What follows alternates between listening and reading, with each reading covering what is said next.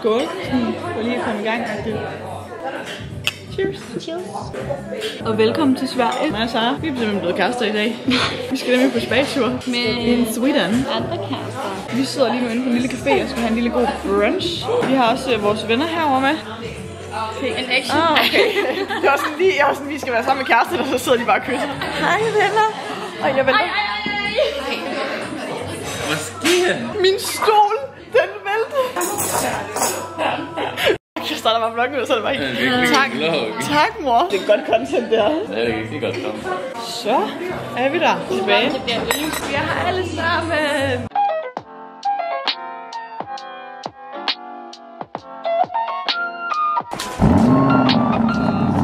Off we go to the spa. Ja.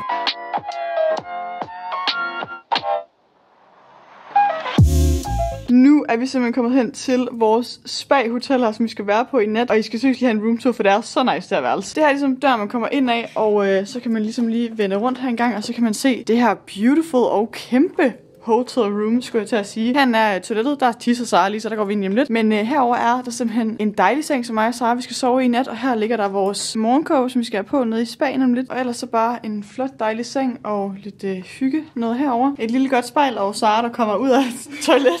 Så har vi vores lille lounge-område her også, skulle jeg til at sige, hvor der er en lille, der er et lille bord her.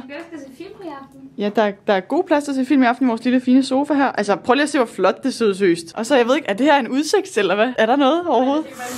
Nå. Ej, ej, ej. Det er bare øh, udsigt ud til ingenting, skulle jeg til at sige. Men altså, det er seriøst virkelig flot, sygt lækkert lille rum. Eller lille, det er kæmpestort, det her værelse her, vi har fået. Jeg kan også lige vise jer badeværelset selvfølgelig. Jeg har min nye moonboots på også, som jeg er vildt glad for. Lige hurtigt kan jeg også lige se badeværelset her. Det er også ret flot. Det er meget sådan hvide fliser-agtigt over det hele, hvilket jeg synes er rigtig flot. Og så er der et dejligt stort øh, bad. Kort fortalt lige hurtigt, så er vi egentlig i Sverige nu her for at fejre nytår, som vi også var sidste år, hvilket var mega hyggeligt. Der lavede jeg også en vlog derfra, så derfor tænker jeg, at jeg kunne lave en vlog igen, fordi det var hyggeligt og sjovt sidste år, og det er også altid bare sjovt at se tilbage på. Mig og Sara, vi kørte så i går fra Danmark af i min bil hele vejen til Sverige i 6 timer, og det snede bare og regnede sygt meget, så det var sådan lidt tricky conditions, men øh, vi klarede det. Og så var vi ude i går aftes til ishockey, vi så Ørebro. Vi er nemlig i Ørebro. Det er vi så ikke nu, men vi er i, vi er i Ørebro og holder nytår, fordi det er der, hvor... Er det ikke der, Markus er fra?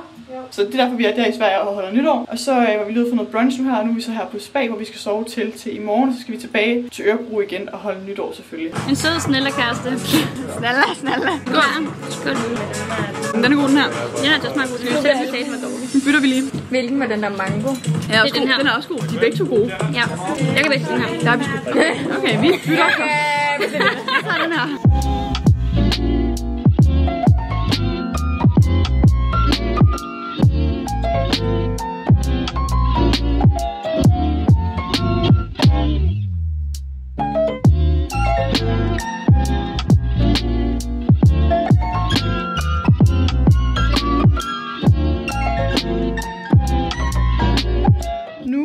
Har simpelthen været i spa og fået gjort os klar til, vi skal ud og Ja, spise. mega dejligt. Mega dejligt, så det glæder vi os til. Vi skal ned have noget lækker mad her på hotellet og øh, bare have en hyggelig aften. We sees. Jeg prøver lige en her kort i vloggen, fordi jeg skal fortælle jer omkring Air Up. Det er altså et nyt produkt, som er lanceret i Danmark, som jeg selv synes er ret så genialt faktisk. Jeg tror godt, de fleste skal blive enige om, at vand ikke altid er det mest spændende at drikke. Jeg er i hvert fald selv virkelig dårlig til at huske at drikke vand, fordi at jeg simpelthen bare synes, at vand smager mega kedeligt. En af de ting, jeg har tænkt over, som jeg skulle tage med mig ind i 2024, det var nemlig, at jeg skulle blive bedre til at drikke vand, fordi at det ikke kun er godt for dig selv og din krop, det er også godt for din hud, og bare sådan generelt set, at vand jo også med til at give det en mere energi. Altså, det gør det vel på en eller anden måde, fordi det ligesom får fyldt de ting op, som du har brug for. Og derfor synes jeg simpelthen, at er op er et ret genialt koncept til ligesom at få drukket noget mere vand. Fordi det her det er egentlig bare en ret fin vandflaske, hvis jeg selv skal sige det faktisk, som du simpelthen har mulighed for at spice lidt op. Det er nemlig således, at der til Air Up findes de her pots, som du simpelthen kan fylde i vandflasken, eller putte på vandflasken. Og der er seriøst alverdens smag. Der er Wild Berry, der er Iced Tea Peach, der er hvad er det? Noget jeg ikke kan finde. Så er der apple, lækkert synes jeg. Honeydew melon, chocolate orange, hvilket jeg synes lyder ret sådan, sådan lidt øh, spicy, men fedt. Og så er der watermelon. En masse forskellige smage, du ligesom kan tilføre til din vand. Og så tænker du nok lige nu, men Anna, så er det vel bare vand med smag. Men nej, nej. Eller det er det vel på en eller anden måde. Den måde, det fungerer på, let me show you. Det er simpelthen, at du skruer låget her af. Og så har du ligesom din vandflaske her. Når du så har skruet den af, så vælger du simpelthen en pot her. Jeg vælger i dag vandmelon, fordi det har jeg lige lyst til. Og der findes altså alverdens forskellige smage mere end dem her bare også. Og så sætter du den på din vandflaske således. Jeg skal lige give den et lille hak, skulle jeg til at sige. Når du så har sat den på, så skal du lige hive den op en gang sådan her for ligesom at aktivere duften. Ja, ja. Og I tænker nok, what the... Og jeg tænkte nemlig også, what the, da jeg fik det her at vide først. Men det, det simpelthen er, det er, at det er vand med duft. Så det vil sige, når du sætter den her pot på, og du ligesom drikker af den her, så trigger du din hjerne til at tro, at der ligesom er smag i det her agtigt. Så er det egentlig bare at drikke jo. Det er for mig seriøst et mindblowing koncept, det her. Altså, jeg har jo vidderligt ikke puttet noget smag i vandet. Jeg har bare puttet den her pot ovenpå, og jeg kan smage, at det bare smager af vandmelon. Måden det her det fungerer på, fordi det er skørt, det er, at når du drikker, så transporteres der vand og bobler. Ja. Og de her luftbobler her, som så er, kommer i vandet, de opfanger simpelthen duften, der er i den her pot. Din hjerne fortolker ligesom duften som en smag. Og det er som sagt helt nyt i Danmark, og noget du jo bare kan have med dig rundt on the go, og den her holder også dit vand koldt, hvilket er jo mega luksus også. Hvis du også kunne tænke dig at få fat i en lille air up, så kan du altså få 10% rabat på din air up med min kode, der hedder Anna10. Der er selvfølgelig link til det hele nede i beskrivelsesboksen. Så selv tak. Og vi kan bare trykke på den her, så kommer der. Uh.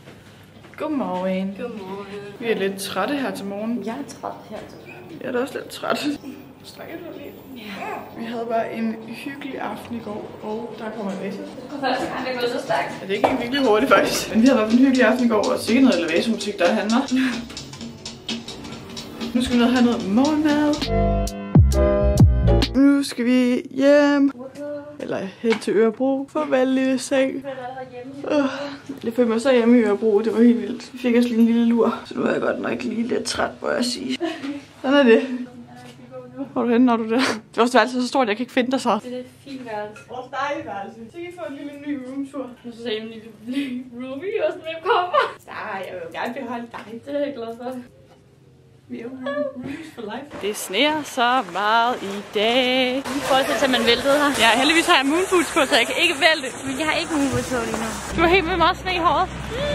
Vi er lige kørt fra Steam Hotel, og nu er vi i Ørebro igen. Og vi var lige at handle, og jeg fandt den her lille sløjfe til Alba. Den blev jeg jo nødt til at købe til hende. Og nu skal vi ud og lige have noget frokost, og bare hygge, og måske lige kigge lidt rundt i byen også, så det bliver hyggeligt. Vi har mad nu.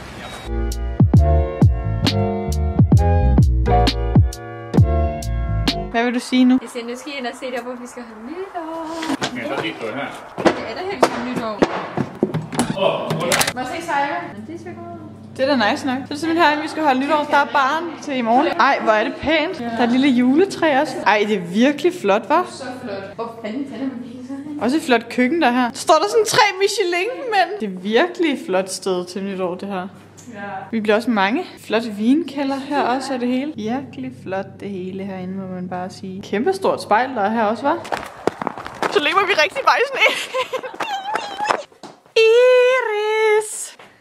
Hey, hey. Jeg sidder og laver nytårsspil. Ej, Gæt det, et lyder, flag. det ser svært ud. Gæt det her flag. Det kan jeg ikke. Hvad er det for en flag? Kan I ikke selv huske det? Nej. Hvad laver du nu? Jeg laver, ja, vi har jo lavet nytårsspil, så nu propper vi en kuglepen ned til alle. Vi skal lave tippens 13. Ned til alle de gaver, skal jeg lige have samlet. Skal du ikke lige prøve en af de der på, Jeg så? tror, den er vold ubehagelig at på. Du skal lige prøve en på. Det er sådan noget værktøj. Hvor er du cute. Vent lidt, jeg skal også lige prøve en. Det er da vildt sødt. Happy New Year! Jeg er så glad for, at jeg skal ind i 2024 sammen med jer. Mm, det kan jeg godt forstå. Jeg elsker, I synes sådan lige måde nus. Happy New Year. Happy New Year. Prøv lige at samle sådan en her hat. Jeg skal da. Prøv lige at samle sin her hat. De kommer bare som ekstra ned i hos nogen. De kan komme ned sammen med brillerne. Jeg tror, man ikke ødelægger den. Så. Ej, du er meget bedre end mig så. Jeg er en god samler, tror jeg. Ej, Den er dårlig, den her. Der er jo ikke nogen Nej, der er et eller andet på. Et eller andet sted. Skal man så binde en knude? Ja, tror jeg. Det er vildt cute, det der. Ja, jeg føler også, det er meget sådan noget, du kan finde på. Så er vi altså meget ens, Anna. Ja. Ja. tænker, det var samme hjerne. Vi tænker præcis på samme måde. Det er faktisk rigtigt nok. Nej, jeg kan lige se en blok. Jeg dum. Make America great again. Nu skal folk ikke tro, at jeg sådan godt kan lide Donald Trump, for det kan jeg virkelig ikke. Men... Duf, duf, duf. Så hvad siger du? Er det den her, vi skal på i morgen? Ja, skal jeg også tage en? Er så flotte jo. Det der sker nu, det er, at vi skal ud og køre i min bil her, som er fuldstændig sat til i sne. Så nu skal jeg lige prøve at se, om jeg kan få den startet, og lige øh, få noget af alt det her sne af, fordi den er da helt dækket til. Ej, det er fandme cute. Det kan jeg ikke sige andet end. Status er... Alt sne skal af. Og jeg Vi- har natballer på, som vi skal bruge i morgen til lejen. Ja, det er rigtigt. Men Vi, skulle huske tage med. vi skal ud og have noget mad nu, og købe noget morgenmad til i morgen. Så vi er nødt til lige at få Annas bil ud af alt deres sne. Så hun er gået i gang med sit øh, Snificering. snevisering. og hun gør det brandgodt. Og vi andre kigger bare på, eller jeg kigger på. Iris er ikke. Iris venter indenfor. Vi gik ud og starte bilen. Åh.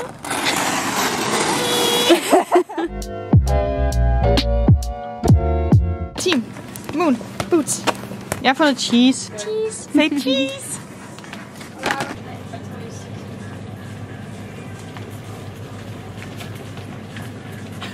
Ej, altid lige lave den her. Ja. Jeg går med. Er vi enige om, det her er normal risifrutti? Så er der risifrutti med æble og kanel, og risifrutti med citrus. Altså, lyder det ikke lidt ulækkert? Hvad søren? Det er Annas peberkagehus, der er her. Det er jo lige mig. Så er der blevet handlet ind, var. Så er vi tilbage. Det ser så cute ud, når de her moonboots står sådan her.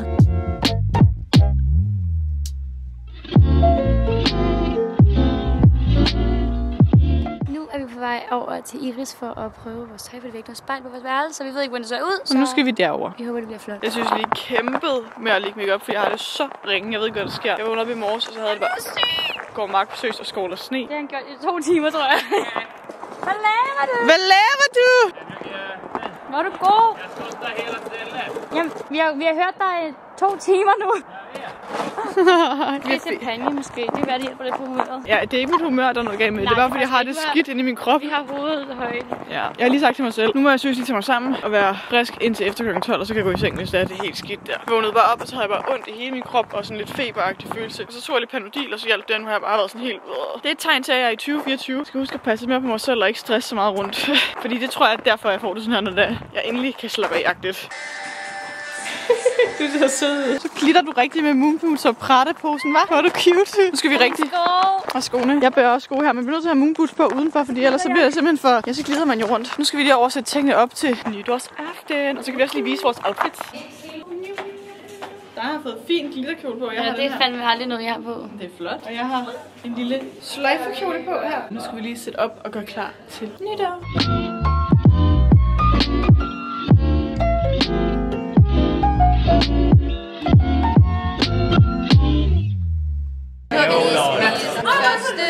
Ville om morgonen først. Og føler. Sara, hun er lige over bowlen. Du kan lige skimte hendes øjne nu. Dronning går af! Dronning går af! Ej, det er også helt vildt. Det er en breaking news. Snabba mål. Hvad spiser du? Det hedder et eller andet fint på japansk kop. Men det er fried chicken.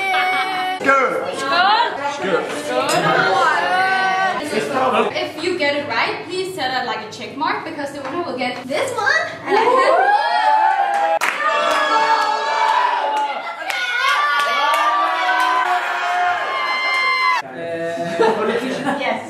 Okej, Donald Trump. Vandt du så? Jeg har det fint med det, men jeg tabte også. Hej, hej! Hvad skal vi have? Jamen, vi skal vel ha en GT då. Helvete!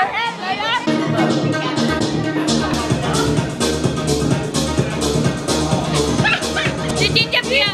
Nu går vi herude med vores moonboots. Vi er på vej til det næste Vi har sted. ikke noget jakke på, så det er fucking koldt. Det er pissekoldt faktisk. Vi overlever selvfølgelig. Fordi vi har moonboots på. Den ene, der så går. Hvad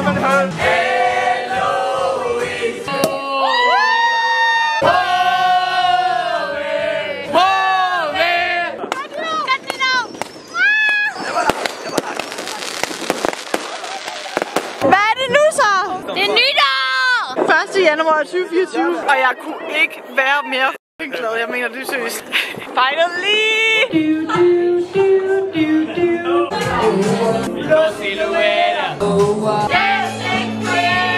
Jeg ligner fucking lort. Hvad f*** ligner jeg så ikke? Det er det samme. Er det samme? Det samme. Åh, oh, men vi har det veldig bra i dag. Ja, jeg kunne have haft det bedre. Og det kunne du også. Vi har slet ikke opdateret i dag, fordi vi har haft det... Ej, ej, ej. Der har ikke været noget opdateret. Vi har lagt her hele natten. Eller hele dagen. Vi har lagt her hele natten. Det har vi så til gengæld også. Vi har lagt her hele dagen i hvert fald, fordi at vi er syge. Jeg er i hvert fald virkelig syg. Ja, Anne er rigtig syg. Jeg er så ondt i halsen og sådan lidt feberagtigt, så det bliver jo så dejligt, når vi skal køre hjem i morgen. Nu ser vi film, som I kan se her på vores lille fjernsyn, så ser vi en New Year's Eve, fordi at vi tænkte, det var essentielt med en nytårsfilm. Og nu skal vi have chokolade. Vil du tage den hele? Vil du ikke åbne den? Jo. I morgen så har Sara lovet, hun vil stoppe med at snakke svensk. Jeg kan ikke lide det. det er... Men jeg ved så god. Det er ikke så roligt. det er ikke så roligt. jeg havde mange planer for 1. januar, vi skulle lave, mm. som jeg ikke har fået lavet, fordi jeg bare har lagt at have været død hele dagen. Hvad skulle jeg lave? Ansigtsmaske, nytårsforsæt, nusset hinanden lidt. Mm, Spis mad i det mindste. Spis noget mad. Har jeg ikke spise noget med? Skulle ud og spise, men det noget, vi ikke. Så det ikke så bra. Men det er også i samme sætning, jeg siger hele tiden. Du siger, du siger endte så bra. Jeg kan ikke, eller du siger noget sådan, Jeg kan da. kanskje. Kanskje, ja. Men nu vil vi øh, simpelthen bare slappe af og få sovet, fordi vi har jo slet ikke sovet nok åbenbart. Og så øhm, var det vist en ægte 1. januar i sengen, det her kunne jeg godt sige. God start på 2024. Ja, virkelig. Godnat herfra. Godnat. Mig og Sara, vi er endt på en færge. Ja, det var ikke engang meningen. Det var ikke med vilje, vi gjorde det. Hej alle sammen, velkommen til Sara på færgen fra Helsingborg til Helsingør. Ja. Så kan du sgu se havet dernede. Vi bliver helt dårlige. Så ikke en god tur på færgen. Yay!